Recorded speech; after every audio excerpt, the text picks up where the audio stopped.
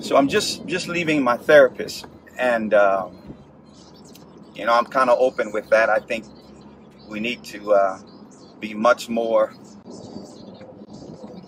strong uh, as it relates to mental uh, illness. We don't we don't deal with that enough in our community, and as a result, I think a lot of our problems is because psychologically we won't invest time with ourselves. Uh, and so, leaving therapy and just you know meditating on what I'm teaching tonight, brotherhood. I want to invite all of the brothers to come out.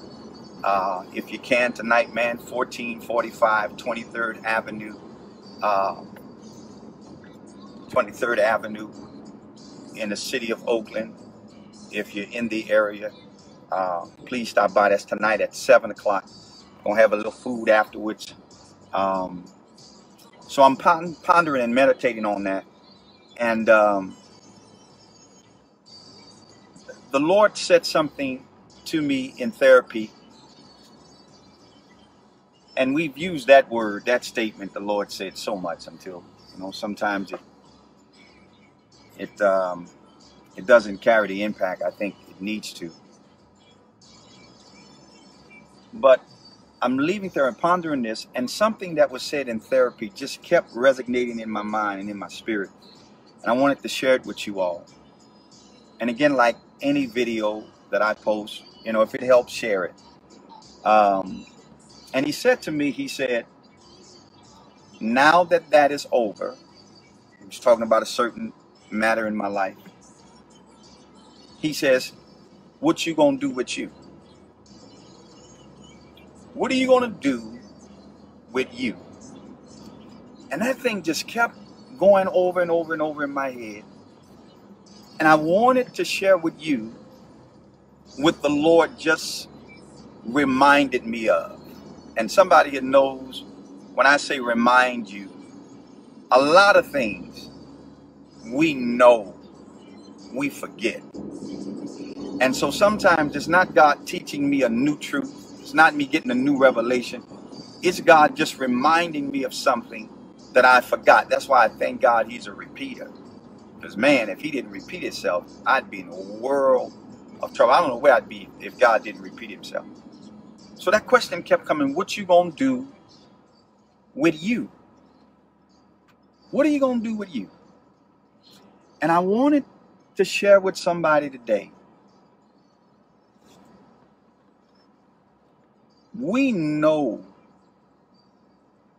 what other people should do.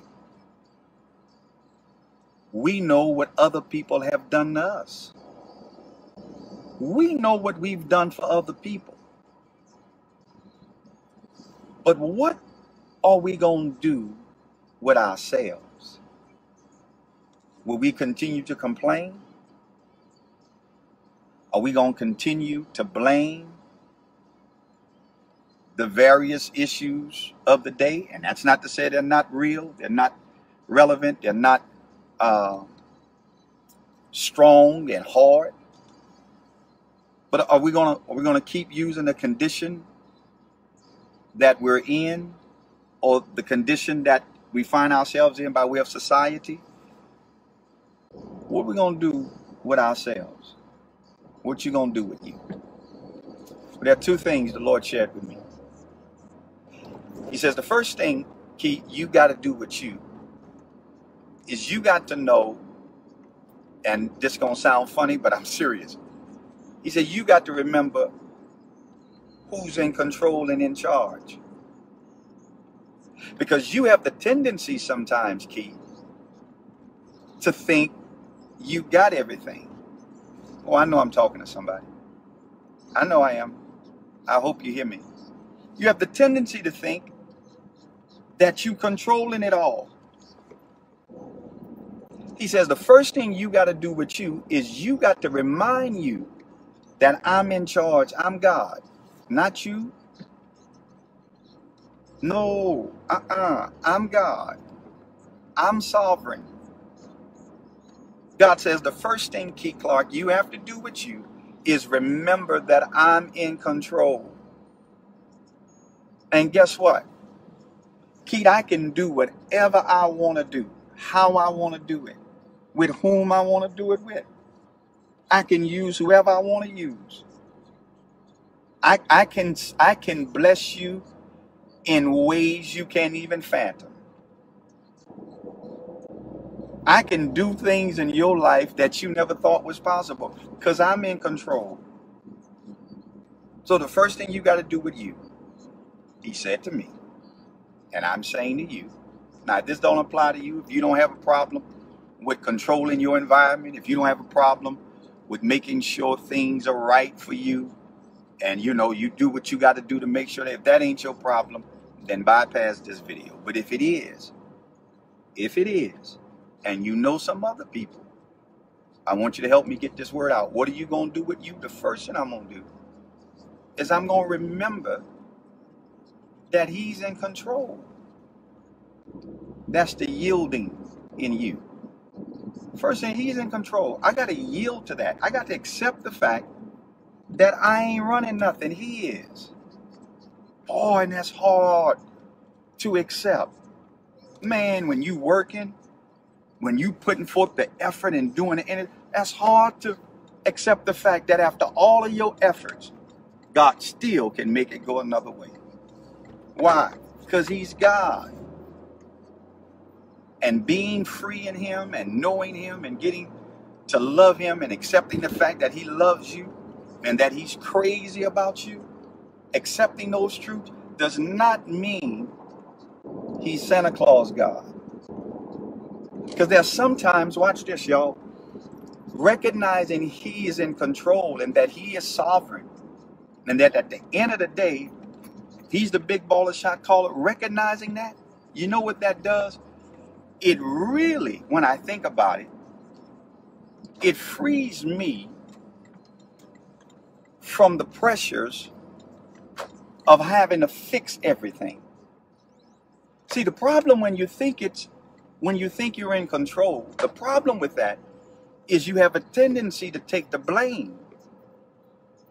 And on the other hand, you have a tendency to look for the credit. But he says you ain't in control. I can't see your comments if you swipe because I swiped the thing off you. I don't know if that says that or not. I don't want you to think I'm rude ignoring me. He says that's that's the that's the, the why in you. Why owe Y O U. What you gonna do with you? The first thing is you're gonna yield to the fact that He's in control. And say that. God, you're in control. You are in I can't control this. You are in control. But then the second thing you're gonna do with you, I think you ought to do. I said two things, three things, I'm sorry. The second thing is you got to offer him what you got. Offer God what you got. Man, listen to me. I'm gonna, I'm talk a minute today. I, I'm gonna talk a minute today. I hope I don't bore y'all. You got to yield to the fact that he's in control. God, you got this thing. But then too, I'm gonna offer you what I got. Man, do you not know you don't have to pretend with God? Do you not know that you can be open and honest with God. You ready for this? Without a filter. Without a filter. Offer him what you got. What you mean? What does the honesty come in at? Because I don't have to pretend and act like I'm something with God. Lord, I'm bringing, here's what I'm offering. I'm offering, sometimes I got issues. Uh, sometimes the stuff that go on in my mind, I don't know where it comes from, and I water it, I feed it. Uh, Lord, I'm bringing to you uh, a broken and contrite spirit. I got uh, issues I from a child. I, I mean, whatever it is, you got to offer Him that. Because when you're offering God what you're working with, when you're offering God yourself, what you're doing at that point is you're saying to this God that you're yielding to, that you know is in control, here's what you're saying to him. I'm saying because you're in control, you can take what I have and do some amazing things with it. So I'm not worried about how I'm going to get to Z. or rather how I'm gonna get to C if all I'm working with is A. I'm gonna let you add the B. Now you say A, get from A to B to C. Excuse me. I, I don't know how I'm gonna get to, to C. All I'm working with is the letter A, but I'm gonna believe and trust that you're gonna add the B. I don't know how it's gonna work out, but I'm offering myself to you and everything I got to work with. I ain't got uh, a six-figure job, but I'm gonna give based upon what I got. I'm gonna give according to your word, but it's gonna be based upon what I got, and I'm not tripping if the tithe that I'm giving and sharing, and not because God's gonna get me, but out of a commitment to Him and a love for His work. If all that means I got is 10, I'm gonna give the 10. I'm gonna offer it up to you.